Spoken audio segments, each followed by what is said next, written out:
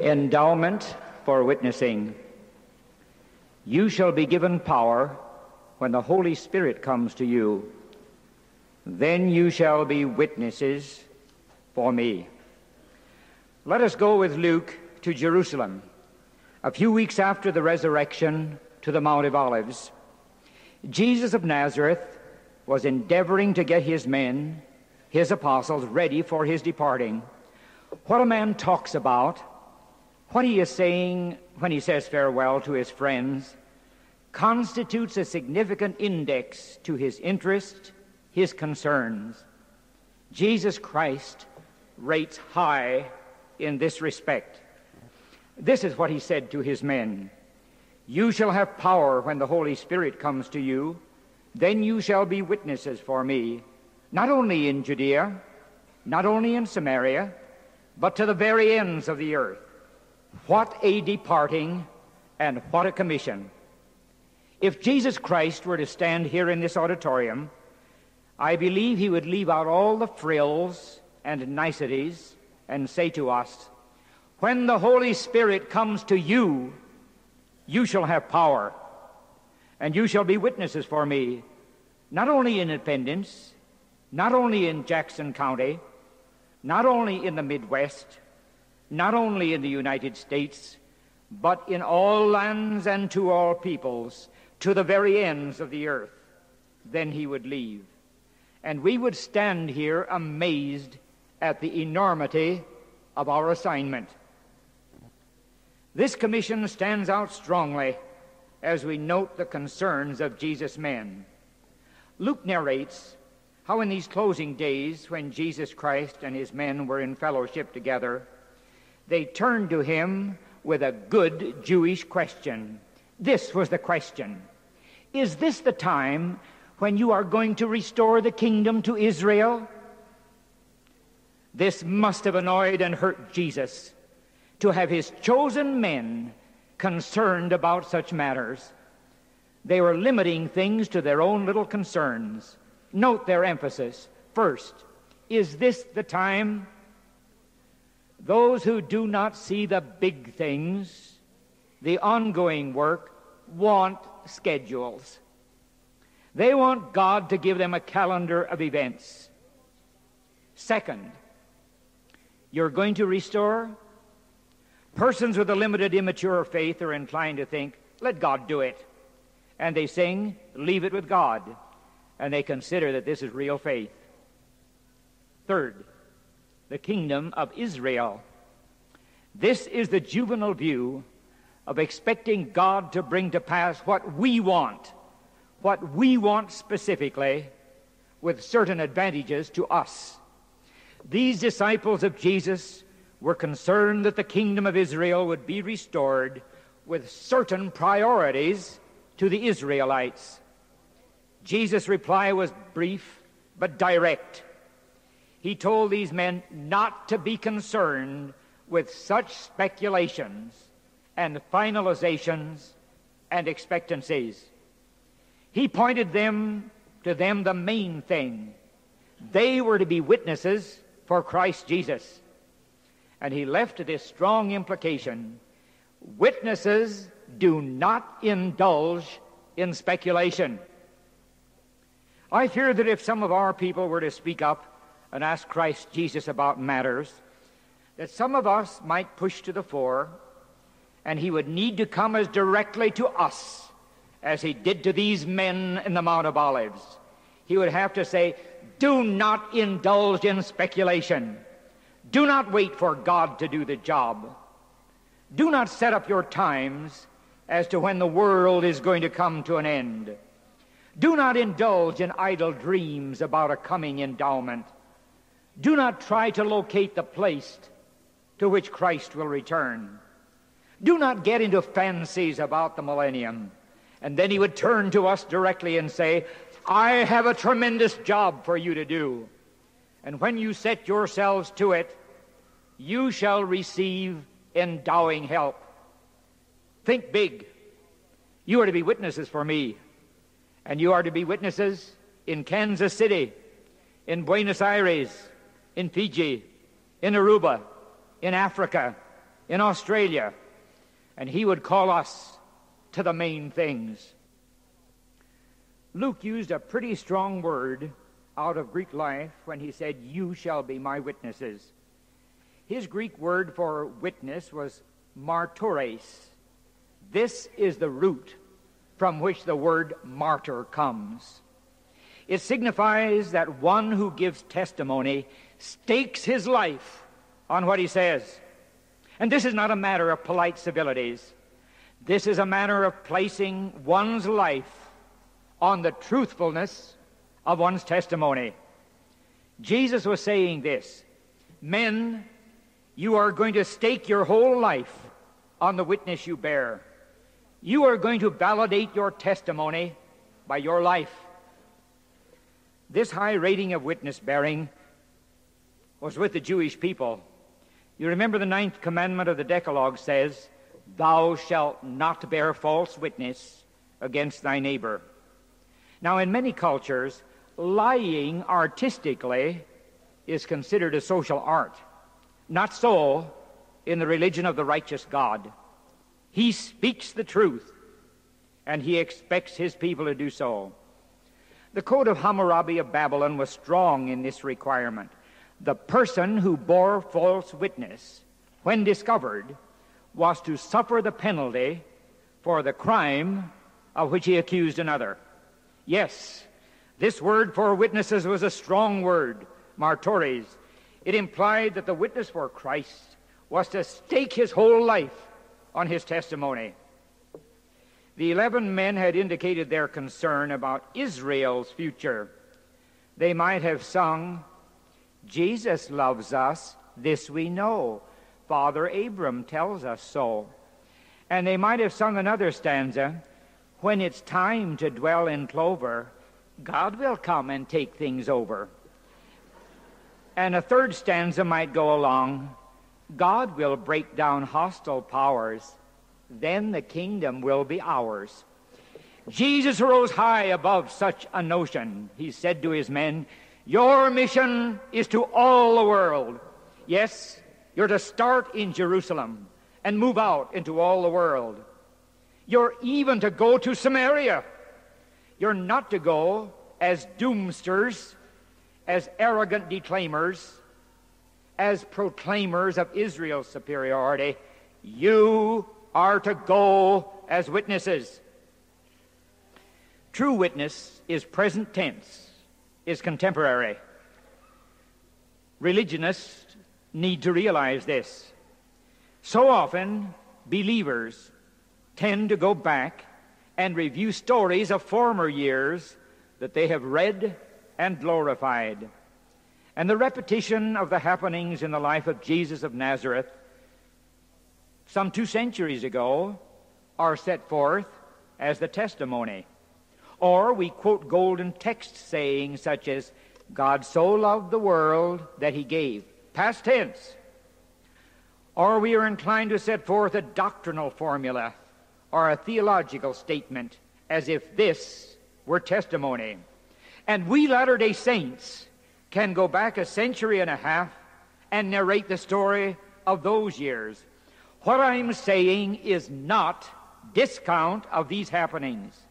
These provide guidings, foundationing materials. I'm saying that this is not enough today. We're to be living witnesses who can bring experience out of our lives in the living now.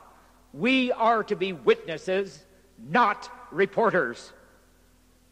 In our contemporary life, as in all other ages, there is a deluge of news that is anything but encouraging, anything but uplifting. As realists, we are aware of this. And this will condition how we're going to witness. But, brothers and sisters, recounting of direful, distressful, deteriorating news is not to be our witness. This is not saying that all of us are to be saying with a little English girl, God's in his heaven, all's right with the world. First, I do not place God way out there somewhere. And I do not see everything all right in the world. But in the midst of confusion and materialism and eroticism and the like, we're to stand up and witness that God is working now, lifting men as men will permit God to do it. The Latter day Saint who sees everything gone wrong, everything on a downward trend, cannot witness for God, for Christ. He has nothing to say. One night, a messenger, a witness, made a testimony over Bethlehem. And Luke puts it this way Fear not, I bring you good news with great joy, which shall be to all people. And then he continues with his witness. I spoke of this this morning, but I'm going to repeat it. Recently, I have been telling of the version that a small boy gave two years ago. I think is the best translation I've found. He was to be the angelic messenger in the Christmas program. He had memorized those lines from Luke's Gospel. And when he stood before the congregation in his angel robes, he was so overwhelmed he forgot his lines. But he had the general idea, so he burst forth with this Hi there, everybody. I got good news for you. This is my favorite translation. I consider this is the essence of witnessing. The witness brings good news. Now, Jesus said quite forthrightly, You're not ready to go out as witnesses yet. Something has to happen in you. He was seeing that these men might have gone out and reported what had happened in Jesus' life. They had to have something happen in them if they were going to be witnesses. Soon this Jesus would be past tense. He tried to get his men to see that the kind of ministry that he had brought them is personal. Bodily presence would come to them. They believed again. And then, when this uh, power of Christ would come, they would know the living, guiding presence of God. They would not then wait for his return. They would get busy while he was away. So Jesus told them to tarry in Jerusalem until they should in, receive the endowment that would qualify them to witness. And the company of disciples returned to Jerusalem. But their tarrying was not sitting down waiting for God to do something.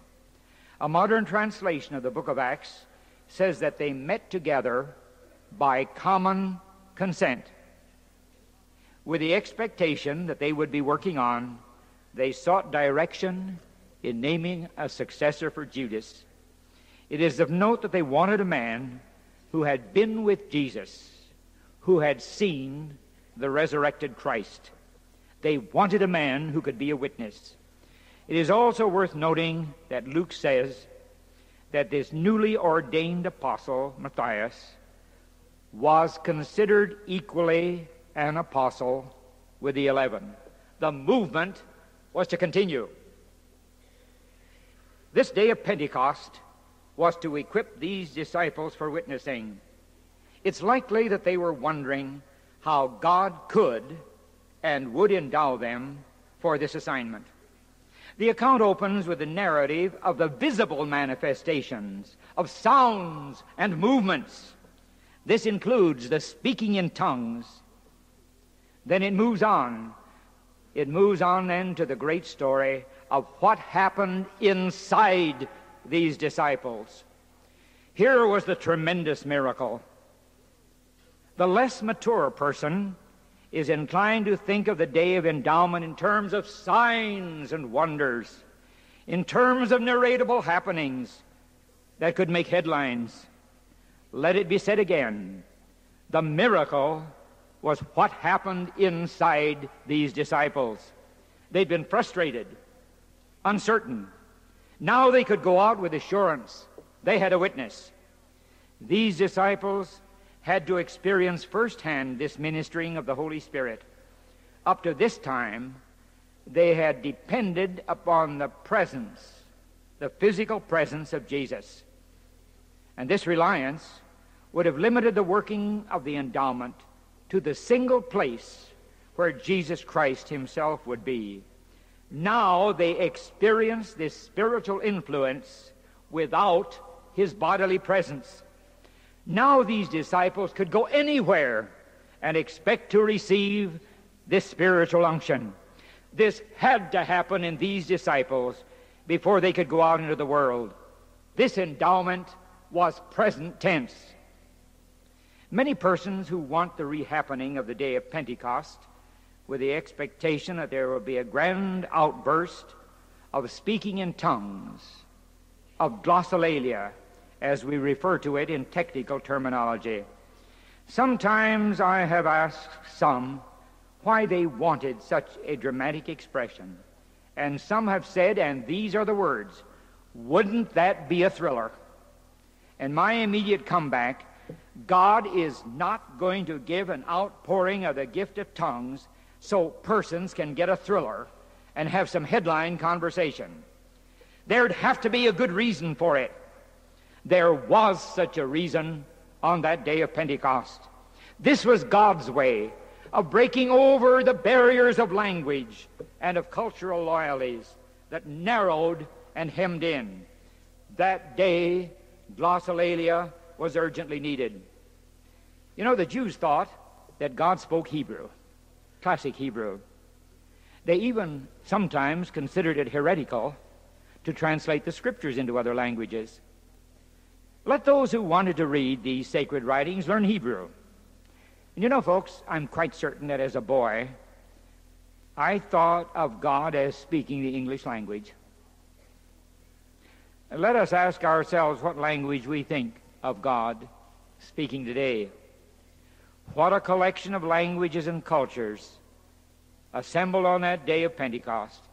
There were persons from Asia, from Africa, from Europe. The speaking was not in some emotional blah blah. The languages were identifiable. There was content in what was said. And that day the endowed disciples leaped out of their Jewish provincialism and were ready to go to witness for their Christ who would speak in any language. What an expansion of mission that was. In some ways, it would do this conference well to have such an outpouring of tongues. Yet I would not pray for it. Many would never catch the import, the directive. They'd go home and tell of the many tongues and of the thrill of it. I see us needing something like this to broaden our perspectives in our sense of mission. Such an experience would carry with it the directive to go into all the world, to witness into every land and to all peoples. We would not be expecting converts to learn to speak our language, the English language. As a young man of 20, I sat on the platform at our reunion in the Des Moines district. Here was a Pentecostal morning. A brother rose and spoke to the saints in a tongue quite strange to me. I was sitting on the platform. I was a young man in the district presidency, that was the reason for it. And he placed his hand on my shoulder and spoke to me. Now, many would think how wonderful that would be. I react somewhat differently. You know, folks, every time God has spoken to me, He's given me something more to do. And as I sat there, I wondered what would be said when the message was interpreted. I wondered if it would be rebuke or acceptance or assignment or what. And when the interpretation came, I was told that in my lifetime I would cross the waters and go to many lands, to many peoples, to many languages. Quite fittingly, this was first spoken in a tongue that was strange to me. I believe that discriminating saints caught the appropriateness of the use of another tongue. This pushed us out into the world of many languages. Now, follow. It would be well for me to add that some of the saints who put God on a hurry up schedule expected me to start right off and leave at once for some other countries. And when I went to college and to university, and when I went to teach at Graceland College, some of these wondered if I were really true to my calling. Had not I been told that I would go to other countries across the water? And the perplexity was enhanced When I first went to Grayson. I enrolled in a study of Norwegian. I was supposed to go to Norway. A siege of typhoid halted this and diverted me from going to this field. A few wondered if this severe illness, which threatened to be terminal, was judgment upon me for going to college rather than to other lands. Later on, I sat on the platform of the Lamoni Stake reunion. A brother spoke to me in tongues and said that I was where God wanted me to be. Here. It was almost 30 years before that first counsel came, that came to me before I crossed the ocean and went to Europe. I guess it took quite a while to get me ready. I do not consider myself a linguist. I have greater appreciation for the phenomenon of language than I do for any one specific language in which I might become proficient. In October 1958, I was ordained to be a, a patriarch to all the church. This meant that I should get out beyond the limitations of an English speaking world. And I assure you that it is exacting for me to go into a mission field of the church where the culture is different and the language is strange. I try to live with the people to achieve some indigenous appreciation of their patterns of thinking and of their values. In this, I consider that I have been signally blessed. And after a while, I can stand side by side with saints of other languages and cultures and sense spiritual fraternity with them. They're my brothers and sisters in Christ. I've sought to work so that God would find me ready for his endowing help. As patriarch to the church, I have given patriarchal blessings in several situations where the recipient and I did not speak the same language. The naive prayer would be for some that God would bless me with tongues so I would speak in the native language. I have never prayed this way. I believe if it were the expedient thing to do, this could happen. God always has me take the course that requires me to do a lot of work. I have prayed for facility in speaking so a translator could get the message. I have prayed for spiritual community so we would sense oneness. In this way, I have given patriarchal blessings that have had to be translated into Dutch, into French, into German, into Japanese, into Korean, into Spanish, into Tahitian. The sense of universal fraternity has been with me. And God was wanting me to witness to conscientious saints. I sought for the light, for the direction suited for that occasion. Now, God promises endowment to those who are going to do something for Him with him. I recall a brother who told me that he had been praying and fasting and sacrificing that he might have the outpouring of the Holy Spirit in endowing proportions. He was very concerned about this. He'd not experienced anything like he wanted. We were friends, so I could speak freely, frankly. And I asked him directly what he wanted to do for which he was wanting additional endowment. He looked puzzled. So I repeated the question. He was still perplexed. And then I said, God is not going to give unusual endowment to any person just for the thrill this person will get out of it. This man had never thought of this. He thought he might fast and pray and then go to some place, some shrine, and be enveloped with endowing power. He had nothing in mind to do, no ministry to extend. He wanted a thriller. And then, as he said, he would have a testimony. And that bothered me more. There would be little witnessing in such a self centered motivation and very little testimony. Jesus Christ told his disciples when he was getting ready to leave them that they would be endowed for the work that they were going to do. We can be mismotivated by wanting in wanting endowment. This bothers me with some of our people. Once I conversed with a good elderly brother who had expressed himself in tongues. As we talked, he said that he had sought that gift for some time. And I told him that I consider this rather unusual. We do not search for a gift of the Spirit. This is at God's discretion and desire. We are to work for the fruits of the Spirit.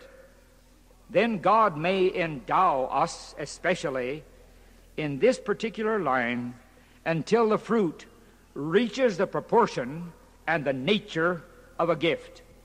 And then I asked him why he wanted the gift of tongues. He was very honest. He said that he believed that he would stand in better with the saints if he had the gift of tongues. He was conscientious about this. And I believe that he did bring help and encouragement to many of our people. But his motivation for wanting the gift was not sound. His concern was for his own standing. Later, I found that sometimes he'd be invited to come to a congregation, to a conference, and to a reunion so that they might be the gift of tongues there. An unsound motivation on the part of the saints. Let it be repeated. Endowment is granted persons and groups. As we enter into God's work devotedly, these need the extra for which they are called. When I came into the Restoration Church as a youth, I was intrigued by the frequent mentioning of the Holy Spirit. I realized that the Spirit was essential in the life of the church. When, however, I would make inquiries, I would not find out very much. I would be given quotations out of the Bible which did not speak, as a rule, to me, and they did not speak in the thinking of the times. They didn't help me. It did not connect with my investigation about the nature of man and the nature of the universe and the nature of God. And when I went on to the university, I got in deep considerations of the person, of how the person comes to be, of the forces that bring to pass personhood of high quality. I'll say this that I don't think I've said before. Yes, I studied a lot of theology, I studied a lot of church history in those. I did not put together my interpretation of the Holy Spirit from courses in theology and church history, they did not say much of anything about the Holy Spirit. I went to my studies in sociology and philosophy that explored the nature of the person. And I saw how persons are shaped in interperson influence. And I saw how the Holy Spirit is the outreaching dynamic of God, touching and influencing the lives of persons when these persons will permit. I saw this as Brother Albert once wrote. I have often seen the Spirit or our congregations bend like the strong electric presence of a dearly loved friend. Those who are translating will note that I'm skipping lots of pages. Once William Hocking, New England philosopher, observed, Great men and great causes have kindling capacity. There is a magnetic outreach for such persons. These do not try to possess us, to manage us, to manipulate us to their own advantage. These consider us persons in our own right. And something of noble influence comes from such persons to others. Ralph Waldo Emerson once wrote, The great teacher is not the man who supplies the most facts, but the one in whose presence we become different people. Jesus of Nazareth exerted such an influence. His men caught his genuineness, his concern for others, his noble purpose. And this is expressed in the comment of a woman in the Hull House area of Chicago when she learned of the death of Jane Addams. And this Italian woman said, She allus a pulling me up. This ordinary woman felt strengthened in noble desire and good intent when she was in the association of Jane Addams. This is the exertion of the Holy Spirit on those who respond.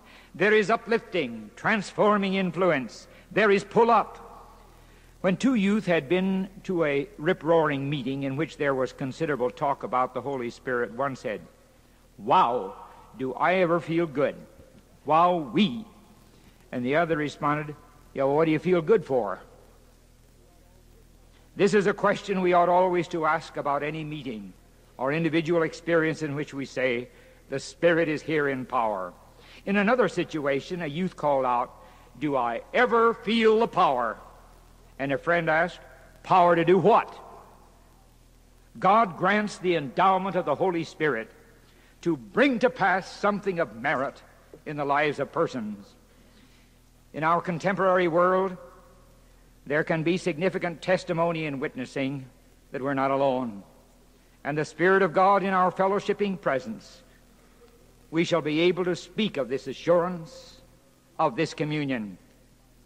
As many as are led by the Spirit of God, they are the sons of God. Jesus called his men to spiritual friendship. That closing evening circle with his men in the upper room stands out to me as one of the foremost happenings in the life of Nazareth. He's getting to, really, to leave his men. He's trying to get his men ready for the parting, and they do not see. They think that he'll be gone a short while and return. And he tells his men that while he will be leaving, he'll not leave them alone. He says that his Father, their Father, will send them another comforter. My friends know that I stress that Jesus did not say he was going to send them a sympathizer or a tranquilizer. No, a comforter would be coming to them.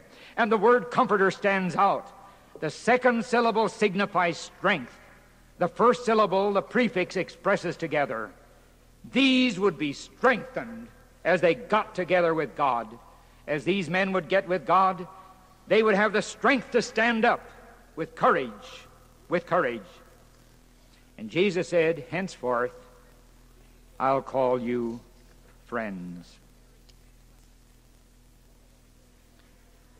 Some of our people have expectations of the sudden coming of some high geared endowment. Someday in some designated place this will come. If such were to take place, many would not be wise enough experience enough to utilize all this if this were to take place. Such happenings do not come all at once. There may be an identifiable intense experience. This does happen. But if this were to take place, there would be deficiency in our people for the utilization of the spiritual testimony. I would be concerned about the witness that would be given. A witness with lots of warmth with little insight. This could rebound.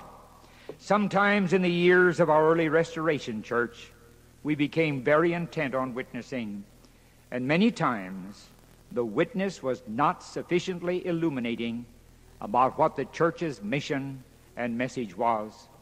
And we drew in many persons who never got hold of the heart of the restoration movement. A few years ago, I was asked to be a, a visiting teaching minister in an encampment of elders at Camp Doniphan. They wanted me to talk of the endowment. I did some real searching. I was aware that for many, endowment connoted some intense, dramatic experience that involved healing, speaking in tongues, prophetic expression, the singing of angels, and the like. And I ask, is this the kind of endowment that God has in mind? What is this endowment to cause to happen in the lives of persons, in the life of the church? I sought light. God does not give me easy answers. One day in the quiet, I sensed a directive to the hymn that we call admonition.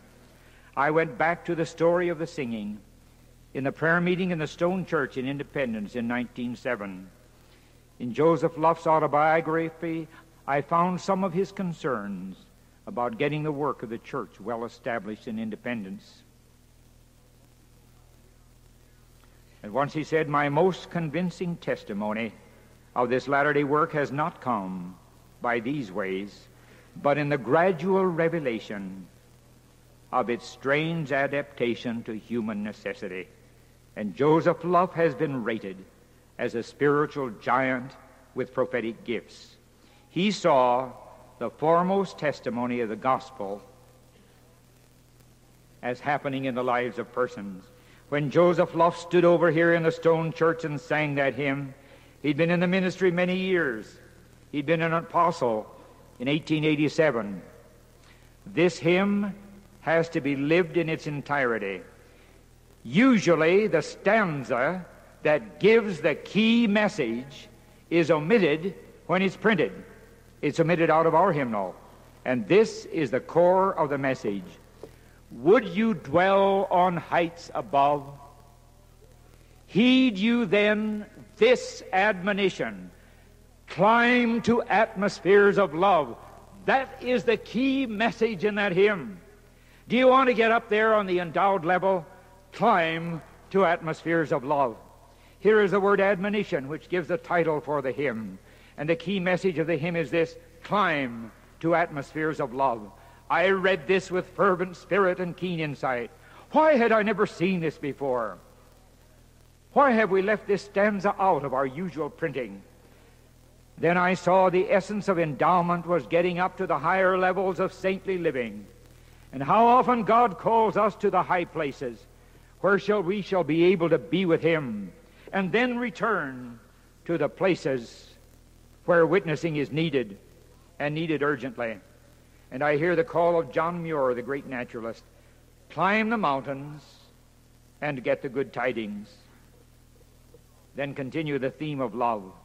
Love ye me and love all people. Love as I am loving you.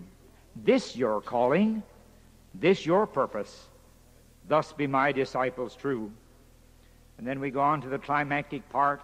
Then, as we come up to this level and live together in love, forth from thence your testimony shall to trembling nations go, and the world confess that with you God has residence below. This is the core of witnessing. As we live lovingly with the love of God, we saints shall so live that others will sense that God is living with us. I'm bringing now a testimony out of my own life. I do not, uh, I do so for it involves expression of what I'm advocating today. In no way do I hold this up for somebody to duplicate it. It's a chapter out of my own book of Acts. May I interject this? Conventional homiletics tends to discount any personal testimony in preaching. This is fallacious, textbookish, and devitalizing.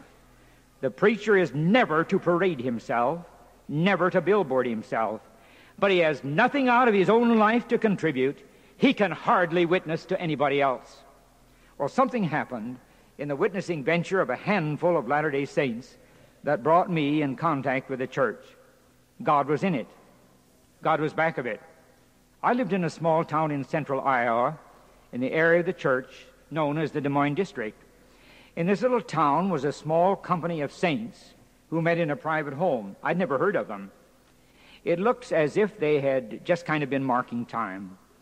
And then one day the district president called to his home the young missionary to the district and said pointedly, The voice of the Spirit is that you shall go to Rhodes. The missionary looked back in surprise and said, Rhodes? Why, nothing's ever happened in Rhodes. And he was thinking, and nothing ever will. The district president said simply but forthrightly, The voice of the Spirit is that you shall go to Rhodes. So contact was made with the president of the little branch at Rhodes. He and his fellow saints were half hearted, but they consented to try once more. They rented a hall in the town and scheduled some meetings. This same good spirit got to working on a few of these saints, and they reached out to my sister and to me to invite us to help with the music in the series. They did more than invite, they got busy praying. I remember when the series closed, a young woman, about the only young woman in the group, said to me, Now we can take a rest. I said, What do you mean? She said, We're all prayed out. Some of our people never have concernees they only have prospects, and the two are not the same. Then God blessed the missionary with some endowing power. And one night, this evangelistic man, by the way, this has never been paraded, had an unusual experience. I don't know whether it was in vision or what it was. He saw me before him, and God said to him, I have need of this young man in my work. Something was added to this missionary's insight and his concern. And then he prayed, God help me. I need to know how to reach out to him. I was wise. If he'd tried to pressure me or to use unsound ways of thinking, I would have turned aside. But God was pulling me too. He gave me no signs, no miracles. He made me get busy and work on the job. He intended that I find out what I would be getting into. But there was drawing power and I kept going to find out some more. I was drawn by the testimonial of a living, revealing God working today as much as ever. And God was made the living, functioning, responding God of today. And I can and do testify that the Spirit of God was reaching to me before I was baptized. I want you to see the scene now. On a Tuesday afternoon, January 14th, at 2 o'clock, the baptismal service was to be held. Three had given their names for baptism. I had not. At noon, I met at his invitation the missionary a block from the schoolhouse. I was a junior in high school. He wanted to see me. I had struggled all that morning, and I walked up to him and said, I shall be baptized today. He'd waited, he'd hoped, he'd prayed, and I had struggled and I'd struggled alone. Know what I said? I'll give it a try. I'll try it, and if it turns out to be a hoax, I'll go out as honestly as I came in. And God knew I meant it. That Tuesday afternoon, the townspeople came to see the baptism. Nothing like this had ever happened in that village. It was mid January, and the baptismal font was in a lake pond by the town, and a rectangle was cut in the ice and a stepladder was used for steps. The townspeople stood on the embankment, and a small company of saints stood by the edge of the ice. The picture is vivid in my mind. And after the baptism, the missionary told of very few understanding friends of his experience. He said that as I walked across the ice to the font, his soul was baptized in the good spirit, in confirmation, in joy. And he said the only time in his life this happened, he heard a celestial choir singing. I didn't hear anything. When God, the district president, the missionary, and a handful of saints got together in evangelistic concern, in testimony bearing living, there was endowment. And I came into the church of Jesus Christ through endowed witnessing. And this endowment is available for us today. On the closing Sunday of the last November, I was in a company of 18 saints in the closing meeting of a retreat of workers of that area in Seoul, Korea. I had looked forward to this meeting with concern and with sense of responsibility. There had grown within me the realization that I should bring this company some message of prophetic counsel. How often I wished another would do this. Yet as the days went by, I knew this was to be my ministry. I had to look to getting the saints ready for such ministry and myself ready for endowing guidance. This kept standing before me. These saints of the Orient need to receive prophetic ministry and to be assured that God is concerned in them and responding to them, that such endowment was not to be considered by them as expressed only in the center areas. I worked, and the saints responded in readying themselves. This was not by some frantic, exaggerated praying and fasting. This was through getting in tune with God in honest concern and the way was open. Here were saints of Korea, of Japan, of Okinawa, of Taiwan, of Vietnam, of America, joined in spiritual fraternity. I've told how the prayers for the bread and then the prayer for the wine were spoken in three languages Korean, Japanese, English. And our universal Father, through his universalizing spirit, was able to bring endowing help. I get restless and concerned with those who are setting up expectancy for some all engulfing event to take place in some coming days in which the church will be overwhelmingly endowed. That's for God and for us to get ready. And I remember Jesus' counsel against such future looking, against speculating, against chronicling God. I'm concerned about our motivations. I'm wondering if some of these are wanting God to come across in mighty power and do things for us. Here I affirm we do not need to wait for some tomorrow. God is ready and anxious to endow us for witnessing today as we make ready. He's wanting to, us to see what constitutes genuine endowment and vital witnessing. And let our witnessing speak of what is taking place in the lives of persons in the living now. And let our witnessing reflect the highest expression of endowment on the planes of love, understanding that's vital and inclusive. Let us go forth out of this conference with resolution to make ready for endowment for and witnessing right now. And this evening, my fellow witnesses, who are your witnessees going to be? Come on. Don't you shake that off. Who are your witnesses going to be? Name them specifically. Identify them. I mean specific persons and families and congregations. What is the witness we're going to express in evangelistic testimony? What is our good news of the endowing power of God that enlightens and lifts us up?